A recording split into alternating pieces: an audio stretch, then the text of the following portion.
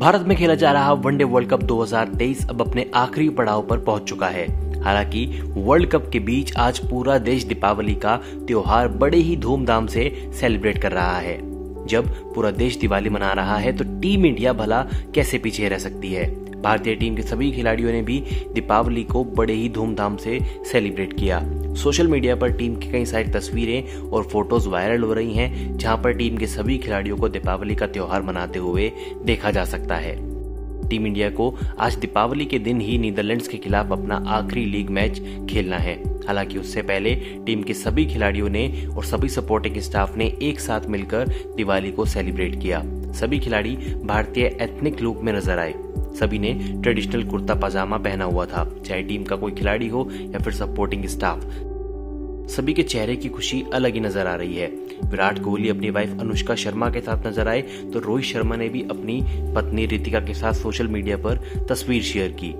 रविंद्र जडेजा को भी उनकी पत्नी के साथ देखा गया, जबकि के राहुल शुभमन गिल, ईशान किशन, मोहम्मद सिराज, मोहम्मद शमी, जसप्रीत बुमराह, सभी दीपावली के जश्न में नज़र आए। बीसीसीआई ने सोशल मीडिया पर एक वीडियो भी शेयर किया है, जहाँ पर सभी को हँसते, खेलते, मिठाइयाँ खाते, जलेबी खाते हुए देखा जा सकता है। साथ ही अगर टीम इंडिया के परफॉर्मेंस की बात करें तो टीम इंडिया फ़िलहाल कमाल की फॉर्म में है। भारत ने अभी तक आठ मैच खेले हैं और सभी में जीत का स्वाद चखा है। टीम इंडिया को खिताबी जीत का प्रबल दावेदार माना जा रहा है। भारतीय टीम आज नीदरलैंड्स के खिलाफ अपना आखिरी लीग मैच खेलने मैदान पर उतरेगी। ये मुकाबला बेंगलुरु के M Chinnaswamy cricket stadium में खेला जाएगा। नीदरलैंड्स के साथ होने वाले मैच में दुनिया भर के क्रिकेट फैंस टीम इंडिया की एक तरफा जीत की आस लगाए बैठे हुए हैं। अगर ऐसा होता है तो वर्ल्ड कप के इतिहास में पहला मौका होगा जब भारतीय टीम ने लगातार नौ मुकाबले जीते हों। टीम इंडिया के सेमीफाइनल की बात करें तो भारतीय टीम का सेमीफाइनल 15 नवंबर को मुंबई के ऐतिहासिक वॉनखेड़े स्टेडियम में खेला जाएगा।